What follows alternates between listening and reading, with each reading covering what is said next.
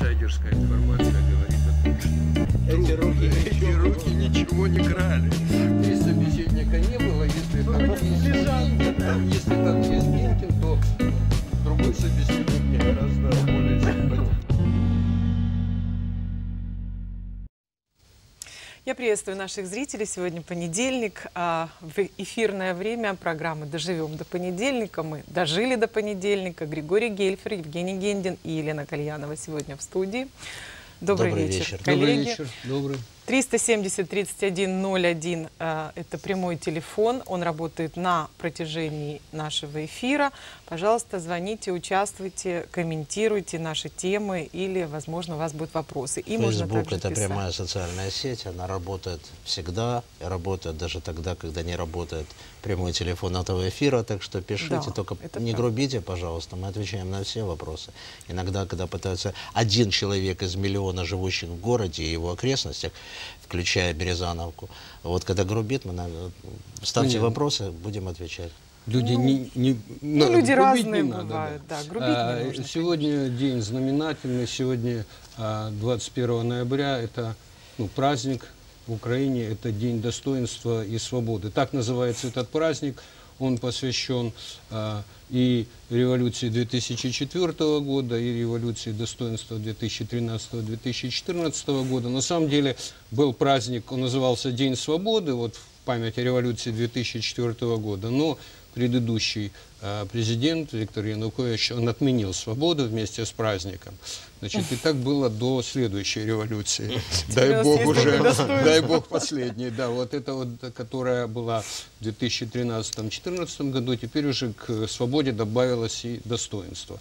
На самом деле, это третья годовщина, она очень знаменательна, она вызывает много споров, много воспоминаний, много эмоций, ну, потому что это действительно знаковое событие, которое а, изменило нашу жизнь очень сильно. Я не знаю э, насчет свободы, ну, вот сегодня люди ходили тоже там на митинг, я не знаю, насколько они были свободны или там сказали сверху, что надо идти на митинг, но шли они на него с чувством большого достоинства. И это уже говорит о том, что в нашей стране все-таки что-то меняется. А То как есть- ты определил, что Ну. они шли с чувством большого а, достоинства? видно, видно. Вот, вот смотрю на тебя, видно, что... Они идут, и достоинство за ними да, по по Мне земле. кажется, что сегодня, вот именно сегодня, очень многие люди вышли э, на улицы, вот в Киеве, да, самые массовые мероприятия, вышли действительно искренне. Я, я не думаю, что это за деньги, да, там привозят людей из э, разных городов, и есть об этом данные, это нормально, но это не значит, что им платят за это деньги. Ну, а дата действительно такая, вернее, дата не противоречивая, а отношение к э, событиям, произошедшим в эти дни, три года назад, да и раньше, и в четвертом году тоже, конечно, очень разное. Даже А. больше к тем событиям, которые после этого. Да, Да, да, скорее всего, вот те того, события, ну, которые произошли за эти три года, э, многие считают, что страна очень изменилась. Э, Ну вот противоречие в том, что одни считают, что она изменилась в худшую сторону, а другие все-таки изменения в лучшую сторону а, видят. И на сегодняшний день многие не понимают, э, кто же нанес э, больший урон нашей стране. Э, Бывший президент, который сбежал, или сегодняшняя власть. Но есть же в этом противоречие. Мы немножечко так вот А в чем это эфиром. измеряется, в принципе? Это невозможно измерить. Э, Можно есть- измерить только то, что в стране сегодня Бывший огромное президент, количество который ненависти. на блюдечке нас всех встоило там как бы э, Евразийского союза и, и РД. Ну, доллар, да, по 8, в принципе, какое-то Ну, это- это волне. да. Но на самом деле э, мы наблюдаем, э, да, конечно, человек хочет жить э, в черно-белой, стремится систем. То есть Майдан всколыхнул это, и на какое-то время был э, мир ожидался там цветной мир, чело- люди себя загоняют в черно-белый мир. То есть вот это между зрадой и перемогой. Третьего не дано. Все это, это На ди- разрыв, да? Да, дихотомия. Черно либо хорошо, либо плохо. И даже вот можно сейчас наблюдать и в разговорах, и в соцсетях такая бит- э, битва пафоса с унынием. То есть либо пафос, там, либо с унынием. То есть люди, ни- никто никому не обязан объяснять свое какое-то, от- свое отношение, потому что нету отсутствия однозначного результата. Я не говорю, плохо это или хорошо. Э, Вот, а- вот откуда происходит вот эта битва пафоса с унынием. И каждый трактует э, в силу того, какое у него сегодня материальное положение. Не каждый, но многие. То есть вот эти, э, прежде всего опираясь на вот эти, какое у него сегодня давление, какая у него там сегодня вот потенция. Жень, ну это ведь а все это потом нормально. проецируется, да, то есть условно... Если люди То есть опираются в этом К на... тоже сожалению- виноваты к сожалению, да, к сожалению, в с- в 74 примерно процентов случаев, я когда начинаю разговаривать с людьми, но оказывается, что, в общем-то, это несет прежде всего какую-то личную основу. э, я, может быть, намеренно упрощаю, с какой ноги встал человек. И, в принципе, люди стесняются вспоминать кто-то, кто-то, наоборот, кто не причастный был, наоборот, с удовольствием вспоминает то, чего не было.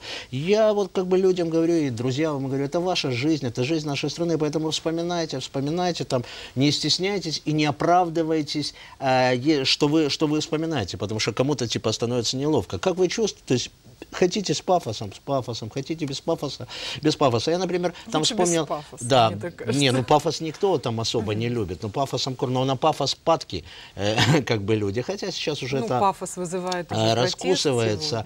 Я единственное могу сказать, что я вот э, вспомнил, на- например, просто все же должны вспомнить, я не мне интересно было, но не я, сейчас можно не помнить, об этом Facebook подбрасывает, что ты писал в этот день. Я вспомнил, Facebook мне напомнил, что я написал в этот день свой первый экстремистский призыв. Я написал тогда, что я, очевидно, в воскресенье в полдень буду гулять в своем городе Днепропетровске, ну, уже нет такого города, на Европейской площади. Я не организатор, не координатор, не большевик, не меньшевик. Подробности, кто чего, как, не знаю. Я просто свежий воздух люблю. Кто хочет, тоже приходите. Свежий воздух нужен как воздух. Ой, я так помню Да. это про свежий воздух. М- писала. Да, Я много помню, ли у нас очень любителей хорошо. свежего воздуха, интересно. И я добавил на всякий случай, я в районе Евы буду, очевидно. Дезик надо купить, дезодоранта продается. Реклама Евы заодно, пропла- проплаченный да, пост. еще? Я этот пост вызвал тогда как бы резонанс такой, для меня он был достаточно неожиданный. Потом, тогда это казалось играми, ну, определенными, не то что играми, ну да, были обижены люди, были, ну, ну, возмущены тем, что просто, ну, кинулись Евросоюзом. И потом начиналось раскручиваться вот эта вот спирали, были и посты принимали, и поступки принимали все более, скажем, там, жесткий характер. Вот, но это наша жизнь, наша память и уроки, которые мы должны извлекать из этого. Ну, с другой стороны, опуская руки. э, вот за это время, ну, свежий, да, мы все ощущали э, свежесть этого воздуха три года назад, но то, что за это время он стал немножечко спертый, я не знаю, кто это сделал, но это факт. В общем-то, если, если ты говоришь, Что, каждый человек там ищет какие-то причины свои собственные, Не ну, почему? сказал 74%. Ну вот даже этих 74%, наверное, достаточно. Я думаю, что все равно есть в обществе какая-то некая общая, так сказать, вот атмосфера, которая заставляет этих 74% поддаваться унынию. Унынию поддаваться не надо на самом деле, но анализировать то, что происходит, неплохо. Я просто еще хочу сказать, что есть еще одна э, дата, да, это не три года, это годовщина, да, вот на днях исполняется год, как у нас в городе мэр Борис Филатов. А давайте мы сейчас еще раз эту тему Да. все-таки закончим. Э, Да. Есть у нас телефонный звонок, Конечно. да, и на эту же тему, я так понимаю. И тогда пойдем дальше. Добрый вечер, готовы вас послушать. Алло. Да, здравствуйте. Здравствуйте. Здравствуйте. Вот э, перед вами была передача «Секретные материалы». И там подробно и четко рассказывали, как вот эти проплачивают митинги. Так почему нельзя ввести статью, чтобы наказывали, допустим, чтобы, ну, это, чтобы судили там или как-то наказывали? Чтобы этого, ну, как-то избежать. Чтобы люди не ходили на митинги Я- за деньги. Да, Да, помню, я вот вас правильно. поддерживаю. Мы тоже Я- поддерживаем. Я, я вас поддерживаю, я могу сказать, что за эти годы совершенно уже четко, на интуитивном уровне, оно уже видно, когда. И не, не за такие деньги Майдан, я не... Вот сейчас, чтобы по- закрыть тему Майдана, когда мне говорят, меня равно, особенно со временем, от пафоса, это чисто народное проявление, либо цинизм. А это все куплено, амеры там проплатили, Ну, все это это, Рокфеллер. Да, вот при- примитивизм. Понятно, что это сплав как бы всего, но отсутствие действительно запроса в обществе, отсутствие гражданского общества с его вот, вот этим вот импульсом, никакими де- деньгами. И очень хорошо мне это доказало, вот когда я во вторник был в Киеве, правительственный квартал прошел. Ну, знаем мы Майданы, видели разные и Майданы, и антимайданы. Вот эти все мураевские бабушки, вот это все, настолько это все фейк и унылые. Я согласен с телезрителем, это омерзительно, и, конечно, за Но это надо- доказать Я сложно, это невозможно да, хочу доказать. сказать, что, ну, к сожалению, у нас же много статей в Уголовном кодексе, но не все они, в общем-то, работают. работают. И мы можно Да. и эту статью ввести, и я думаю, что эффект будет такой же. Просто надо не забывать, что сегодня день достоинства. Да, и, в общем, вот. мне кажется, главное, чтобы люди сами понимали и сами в себе чувствовали это достоинство, чтобы их нельзя было за какие-то, так сказать, там, ковришки привлечь э, к каким-то, в общем-то, вещам, которые, ну, не лежат в душе, они, они просто идут как на заработок, И очень легко списать на продажную да. власть, на Ну, тарифы, как пока все мы- это имеет пока место, из-за которых я вынужден быть Да, вот таким пока, подонком. Пока скажем. сам человек немножечко продажен, в общем-то, он имеет такую же власть, которая продажна гораздо больше, потому что цены немножко другие. Но я хочу сказать о Днепропетровской власти. Вот Днепровской. как- Да, ну сначала она была Дне- Днепропетровская, а потом, в общем-то, стала Днепровская. Это все за один год. Это Борис Филатов, наш мэр в течение года. Он недавно на одном таком собрании укроповской общественности, значит, было много человек, тысячи, наверное, красиво так все было со скайпом, там, с другими странами. Со скайфом. Да, но не буду в подробности, мы же не о политике, мы о мэре. А вот он сказал, что вот за год он сделал много чего и перечислил, и, в общем-то, из того, что он перечислял, многое действительно правда. Я не буду анализировать, я думаю, что все могут найти этот отчет и посмотреть, что было сделано вот мэром и его командой за этот год. И он сказал, что его рейтинг на самом деле там уже 50%, вот, а у, э, даже уже фамилия забыта, кто Среди там кого? следующим. Ну, среди тех, кто мог бы стать мэром. И, в общем-то, ну, дай бог, на самом деле, чтобы за этими процентами стояла реальность, стояла работа. Ну, год этот как бы он прожит, что-то, безусловно, сделано, многое сделано, но предстоит сделать столько, что, как бы, когда будет 150%, тогда мы поговорим. Я хочу А подвести знаете- определенно, можно вот это, Да. чтобы это касается власти и Филатова, мэром, то есть все проходят сейчас определенную школу. Я очень хочу, чтобы действительно и со стороны власти было больше готовности к, к диалогу, но чтобы люди гражданского общества, каждый встречный, поперечный не монополизировал понятие гражданского общества, чтобы власть больше слышала народ, понимаю, какими соплями. И тем не менее, это то, в чем и я свою миссию э, как это не громко вижу, но общаюсь как внештатный советник всего. Но и чтобы гражданское общество, то есть э, диалог с властью, это не значит хамство, не значит наезды, и не значит голословные, извините за выражение, предъявы. Поэтому, мне кажется, сейчас трудно эти уроки постигаются и Филатовым, и властью, и теми, кто называет себя гражданским обществом. Зачастую э, жалко, что нормальные люди под раздачу по- попадают от того же Филатова. Да, хочется взаимного да, нехамства Да, да, тоже, хочется да, взаимного не хамства, но и взаимного понимания. Понимания, что делает власть, что она не делает, но и понимания, что есть гражданское И что общество. она должна делать? Да, и А вот вы знаете, вот мне кажется, что бы сейчас могло повысить, очень повысить рейтинг Филатова, еще больше, больше 50%. Вот э, на прошлой неделе очень многим, э, ну, большинству горожан, наверное, уже пришли э, платежки э, с новыми тарифами, со счетами за э, отопление. И ну, очень разные цифры, есть просто шокирующие, большие на, на этот момент, там, за 12 или за 15 дней отопительных в октябре. А есть и совершенно вменяемые и маленькие. Пока еще вот с этим вопросом продолжают разбираться все в том числе и журналисты. Но а, летом ведь у нас Мискрада приняла мораторий на повышение тарифов, правильно? Правильно. И этот мораторий должен действовать до 1 января 2017 года. Ну вот полученные платежки пока что продемонстрировали, что мораторий не Может, не надо до 1 января пока платить? Я думаю, что, Может, да. возможно, наша городская власть все-таки с этим вопросом Так и разберется. очень, Очень, да. хотелось ведь это бы. же монополия, скажем, там государств, центральной власти, эти тарифы и Э, так далее. Ну, компания, теплоснабжающая компания согласовывает тарифы с мэрией. С городом. Там не с всё городом. так, э, Там не просто. все так вот просто на украинском уровне. Тут- И в Днепропетровске, несмотря на то, что у нас не самые высокие зарплаты в стране, там, да, по сравнению с Киевом, там, с Одессой, у нас одни из самых высоких тарифов. Поэтому э, Нехорошо. я думаю, что... Ну, Давайте, я может- надеюсь, что городская власть с этим будет разбираться, потому что это очень важно и это критично для очень большого количества людей, несмотря на получаемые субсидии и даже на тот, ну, более облегченный такой вот порядок их получения. Нас пугает, вот Максим Белоножко пишет, поползли слухи, что грядущим летом отключат аналоговое вещание. Хочется акцентировать внимание, что девятый канал и любимая нами ДОЖП э, не представлены в цифровом эфире. Зато на приставках Т2 в Днепре транслируются три популярнейших канала с передачами о цветных цветных полосочках. Я не очень понимаю. Ну, мы а, пока, это в смысле русские э, каналы? да, Пока, что-то, пока да? речь об этом не Вот. стоит, давайте мы до Да. понедельника, до следующего Я- доживем, там будет Да, я видно. хочу До сказать вот о скрепах, о скрепах, о э, архаике, о потном вчера, которое, в котором пытаются в нашей Украине, и причем речь не о Запоребрике идет, а о нашей европейской нынке, за которой мы выходили. Короче, 17 ноября э, Верховная Рада должна была э, ратифицировать конвенцию, ты меня слушаешь, Лен?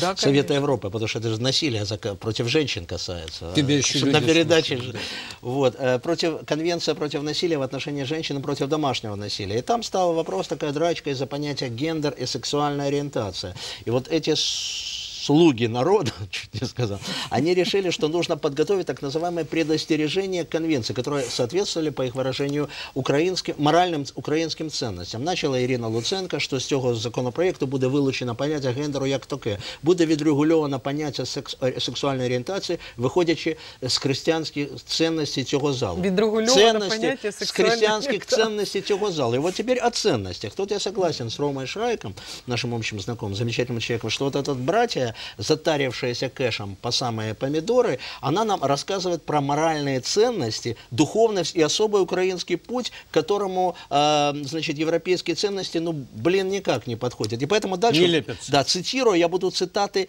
э, это трэш, с цитатами из декларации, с другими цитатами. Депутат Масейчук, 183 тысячи долларов и 145 тысяч евро наличными, плюс коллекция холодного оружия. Слава Иисусу Христу! В этой конвенции содержатся нормы, которые являются неприемлемыми для украинского общества и украинской духовности. Вспомним, да, как он духовно, высокодуховно рассказывал тарифы, что, сколько стоит решение.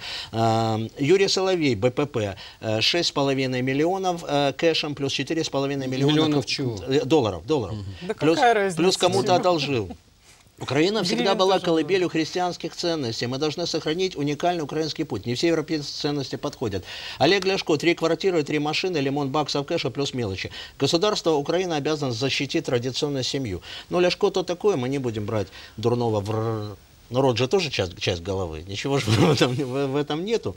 Вот. Луч света, между прочим, была Геращенко. Так ты за Бойко, что ли? Ирина, Ирина Геращенко. Ну, Бойко ему вломил, между прочим. Ну, я же хотя, говорю. хотя он должен Да сидеть в очень тюрьме. как-то картинно А, вломил, я тебе Геращенко скажу. сказала, мені сумно, що сучасні українські політики, які не стидаються мати коханок чи кілька шлюбів, і це їх особиста справа, спокійно ставляться до інших біблійних гріхів, бо ніколи не бачили таких палких дискусій навколо тем не вкради, там, не бреши. І вони демонструють е, стільки стереотипів до загально при- прийнятої термінології міжнародних документів. І гендер, який на- ас- насправді означає не засилля, ЛГБТ, а стать і рівність. Ну і як вишенка вот на этом торте из этой субстанции, Верховна Рада а- отрапортовала, что створять, значит, рабочая группа, до, до якої долучится Рада церков. Ты же понимаешь, пусть они налог на землю заплатят, а, потому что ощущение, что Бог создал землю, а, вот, за которую церковь не хочет платить. Нет налогов, нет, нет, нет морали. И в заключение я просто вспомнил на одном прав- православном форуме, я очень люблю на них бывать, на- был такой вопрос. Муж наказывает меня раз в неделю ремнем. Я не против. После такого наказания я становлюсь сдержанней и смиренней. Но не является ли это грехом? Лена. Протеерей Андрей Ефанов ей отвечает. Доброго дня, Лена. Если в вашей семье принят такой род воспи- воспитания, не вижу в этом ничего плохого. Главное, чтобы наказание было с любовью. Храни вас Господь. Но я считаю, что и церковь, и проститутки, все они должны платить. А нардепы, жлобы, ханжи, лицемеры, клептоманы. Понятно, И- что им и- выгодно жить в, в отсталой архаичной стране, Ну, не иметь все, дело не- не все, и выводить их. Не все нардепы. Хорошо, Часть. 74%. Ну, это много. это. Откуда у тебя сегодня такая Не, ну, цифра? не, ну это, ну это, ну это действительно, ну, Ну, то- давай тоскно о вот, вот светлом это вот, такая поговорим. лицемерие, такое. Я блин. хочу вернуться в город. Да, о транспорте. Давайте Там ну, сколько у Лешко машин, но это смешно по сравнению с тем, что будет в Днепре. Потому что мы получили же кредит на строительство Мы, метро. это уточняем кто? А то подумают, Ну, Гильфа, мы с. Филатовым. Нет, тебя там нет. Вот мы с Филатовым. Вот, извини, Женя. Городская власть. Да, Давайте. Нет, город, город, город Днепр получил кредит на строительство Днепро. И после легких подсчетов, Метро. или не легких, а я что сказал? Днепро, Днепро. на строительство. Днепро Всё на метро, нормально, все да. нормально. Поняли, да. Вот, э, после таких несложных подсчетов оказалось, что кредит такой, что можно еще какой-нибудь транспортный хаб забабахать. Вот, и уже, в общем, есть четыре варианта. Под- Подвесные дороги Не, уже есть учли, да? первый вариант, это вот э, от станции музейная, ну, представляете, да, это где? сделать э, Где 900 исторический музей, да? там. да, 910 метров подземный тоннель, значит, до станции Проспектная, где будет, э, значит, ходить рельсовый вот э, этот самый, кто там, автобус, значит, тра- траволатор, это такая, да, там штука. он будет, да, да, да, эскалатор. будет доставлять, э, значит, э, тут пассажиров, и все это будет, там, может быть, стоить 23-25 миллиона евро. Вот один вариант. Второй, это маленькое троллейбусное кольцо, там, на 2, значит, там, на 2 километра, вот а, от станции Музейная до вот этой самой станции Проспектная. Тоже хорошая штука, всего 3 А миллиона. что ты смеешься? Если- 3 если миллиона евро. Ну, сегодня Не, ну, ничего не будет. нас будет плохо. Город 32-я потонет. программа, Да. 32-я. А- а Сколько что? проектов мы уже Не, ну хорошо. Еще одно. 32 Просто на Южном вокзале просто Проект. метро построить, вот четвертую станцию втиснуть, ну там где три, там и четыре. Всего там 78-83 миллиона евро. И последнее, что мне нравится, вот как бы и не мне, и Диме Волику, это наш главный архитектор, это все-таки канатная дорога от станции вот, метро три- Музейная. три же да, быть. э, до Тополя, Победы, Сокола. Очень красиво. То есть вот реально. Потому что метро, ну, оно же почти везде есть. Что Ну, уже наплётся? под землей его не видно. Лена, Нет. все будет плохо, А- все а деньги так- распилят, Лен, ну город смотри. потонет в зловониях, все Ну будет... подожди, что ты, этого нету в проекте. Это пятый проект, он забракован, потому что слишком много денег. Все воры, все Набрать твари. зловоние на весь город. Вот, короче Я говоря. Короче, я за то, чтобы была дорога. И мы будем с тобой, Лена, кататься, смотреть на красивый Днепр, и все будет хорошо. Ну, и причем это будет, вот я думаю, что через три года. Э, спасибо Когда у нас внимание. какая А, будет про- программа «Доживем до понедельника», где-то там... Я не знаю, доживем ли, доживем ли мы со своей программой. Ну, красиво, замечательно. это Нет, же красиво. Вот что есть реально, Женя, Да, что есть Елена. реально хорошо, то это вот новые троллейбусы. Там Ага. мэр на прошлой неделе, Вот это- они есть реально. Да ну ты, Их обещают неужели? запустить, Неужели они хорошо? белорусские. Ну, хорошо. Ну, плохо, что не по космической. Там нет, э, там нет э, троллейбусной линии, а студенты не могут Но зато у них по-прежнему ездить. 30% экономии, и у них автономный Да. ход несколько десятков надеюсь. километров. Если электричество Да они из Беларуси к вырубится, нам да, доехали, да. нет? Э, из, ну, из Белоруссии там кредит какой-то Своим он ходом? отчитывался, там все реально, да. А какие ну, может это- быть, тогда Лоцман пустят по космической какой-нибудь. Я много без- транспорта, я в следующий раз добавлю. У меня есть про Давай транспорт, тоже рейтинг транспорта. Я все-таки хотел бы к культуре перейти, потому что вот, вот к культуре. Вот рейтинг транспорта интересная была штука, но я в следующий раз. мы еще в Слишком каком-то много- рейтинге, Да, мы- нам мы много где-то еще говорить там, о транспорте, тем более там Филатов Наш годом- транспорт годом- в рейтинге. Да, нет. каком-то, в- да? Мы середняки по Середняки. транспорту. Да, я об этом в следующий раз расскажу. Я хотел бы Держимся в все-таки пелетоне. острая Это тема благодаря белорусским а, троллейбусам. культура, Только. да. Ну, Лена, о культуре. Тебе много- надо особо это послушать. Много, Да, много, старым немецким да, трамваем. Я просто хочу сказать, что вот мы на одной из прошлых передач говорили о собрании в театре Горького по поводу того, что вот какой русской драмы, если такая ситуация, какого Горького, если он там восхваля... вос- сталинские стройки. И поэтому а, коллектив театра значит, ну, принял почти единодушное решение. Были, конечно, внутри споры о том, чтобы просто назывался а, Днепровский академический театр русской драмы. Не, русской, просто, просто драмы. Да не бойся. комедии. Не, ну я это Барабаева. приличное Нет, название, это нормальное название, но оказывается не всех это удовлетворило. Есть такие люди, которые называют себя правым сектором. Ну, это какой-то остаток, да, там, потому что Ярош уже у него там просто инициатива Ну, Яроша. Он сегодня там орден получил, Ну, поздравляю. это те, которые с визитками Да. остались. А это вот с визитками остались, они, значит, ходят, качают права, они обвинили Жана Мельникова, да, там, художественного руководителя театра в том, что он там чуть ли не российский агент, потому что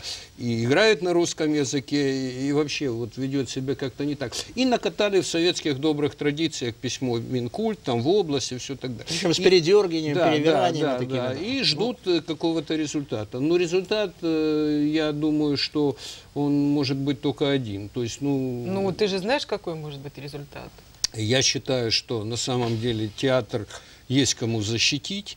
И самое главное, Жан Мельников, то есть человек очень ранимый, выдающийся актер там, и так далее, он очень переживал по этому э, поводу, но пришли люди, которые создавали этот правый сектор, настоящие, и сказали, если эти появятся, мы их просто... Ну, э, Да. да. То есть это я в двух словах скажу. На, я, мы пришли, эти 80-летние люди, там вот, э, причем на, почетный гражданин города, это же не то, что он, он, он, он актер. Он делал, он, он, он делал, э, это самое... Там, Он играл лучше- он, это- а он играл такое с роли. внимание Понятно, что их сапога пришли, там э, кучка маргинал, там не пришли, они написали, они же для них, они же не знают, что у нас этих правых, правых секторов хоть пруд пруди, и любое там... Такой э, франчайзинг. группа, да, маргиналов может назвать себя, ну мы-то, мы- они немножко на улицу не ходят, мы-то знаем ситуацию, знаем вопросы безопасности там этого театра. Мы еле успокаивали как бы этих людей, когда на ровном месте провокация совер- совер- совершенно... Познакомили их с настоящим правым сектором, познакомили их, ну, как бы действительно с людьми,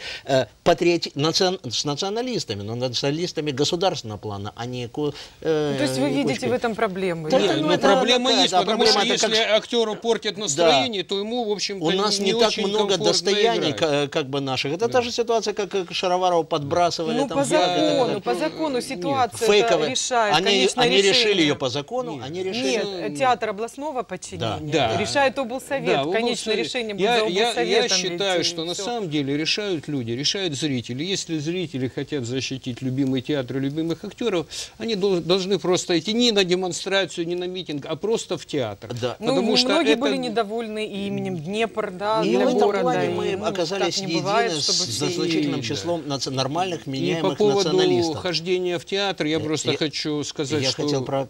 Пять ну, минут ладно. у нас остается. Вот сейчас, вот в эти минуты идет э, спектакль театра «Верим» в Киеве на сцене театра Ивана Франко. А, это вот начинается годовщина памяти Голодомора. Они показывают спектакль «Голодная кровь».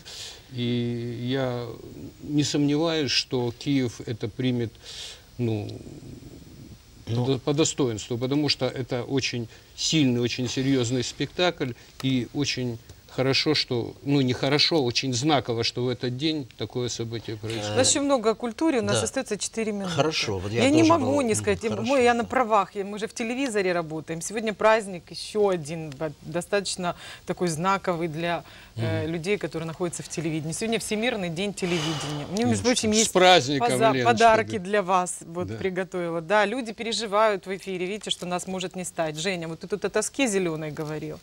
Вот тебе зеленый ну, не о моей, телевизор. так точно, спасибо. Тебе зеленый. Это съедобно, Это да? цвет надежды. Это да. пряник? Вот такой красивый у нас для вас сувенир. А кнут когда?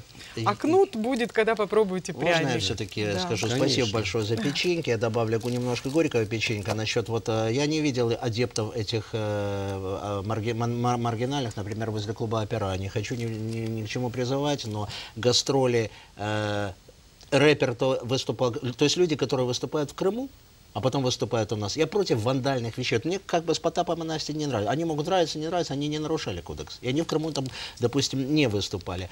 То рэпер, опера выступает э, из бригады Тимати Куда Лен. смотрит, э, а, То сейчас Каспийский груз, который выступал, э, вы- выступал тоже в Крыму, и тем не менее опера. При этом клуб опера, я не хотел что, э, говорить о том, что они отказывают молодым днепровским группам, там вот «Вечер пирса», проекта вот, при поддержке, э, именно потому, что э, это местные группы и проект при поддержке Филатова. Но зато открыты двери у клу- клуба, ну я думаю, у клуба «Операва» для людей, которые выступают в Крыму. Ну что ж, э, я, ну я думаю, что могут, конечно, СБУ на границе. Городские возник- власти на это возникнуть. могут как-то поменять? Нет, не могут. Нет, СБУ, это это, СБУ. частное, Но я думаю, что как бы ну, работаем в этом направлении Ну, и вот, не э, боимся обвинений в 1937 году. Я хочу в заключение сколько минут. У нас совершенно уникальный фестиваль состоится с 29 по 2 декабря. Сейчас вкратце скажу и следующий раз. Днеп- Днепро Puppet Fest. Это первый такого фестиваля, он в рамках культурной столицы э, программы. Э, такого фестиваля не было еще. Вот у нас прошел уникальный джазовый фестиваль, там фестиваль Галича, который идет, выставка Примаченко,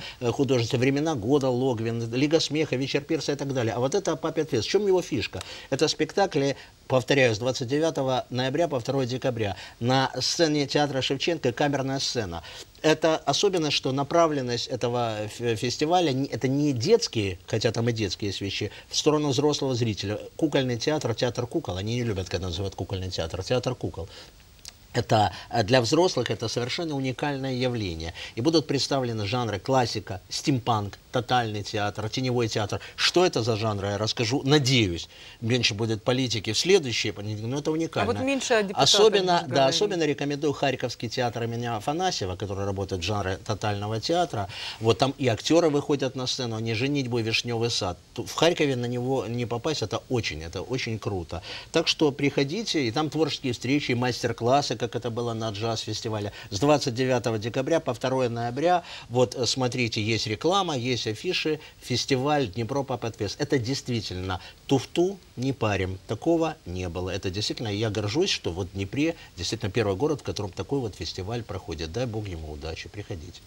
Ну, и я надеюсь, что в следующий раз будет меньше о политике, да? Конечно. Да, и больше о куклах. Меньше о политике, а больше Лица о стерты, куклах, краски куклах тусклые, то ли или- люди, то ли куклы. Или транспорте, например. Конечно, да, обо всем. Ну, э, что, я думаю, что в следующий понедельник все будет хорошо, мы обязательно доживем. И будут Вот новые пряники. новости, вы Ты- попробуйте пряники, поделитесь впечатлениями. А пока что смотрите телевизор, оставайтесь на девятом канале. Леночка, с праздником. Спасибо С праздником. вам Спасибо за печенечко. Да, и за Доживем до внимание. понедельника. До свидания. Пока. Всего доброго инсайдерская информация говорит о том, что эти руки, эти руки ничего не крали.